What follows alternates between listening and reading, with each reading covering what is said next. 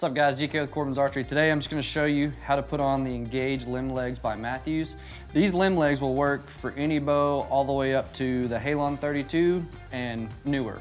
So Halon 32, Halon, Triax, whatever, all gonna work. What you're gonna do is you're gonna splay these guys open wide. This guy here slides into that bottom pocket right there on the bottom of the bow, and then you just close those around. Very simple. You can shoot with that on.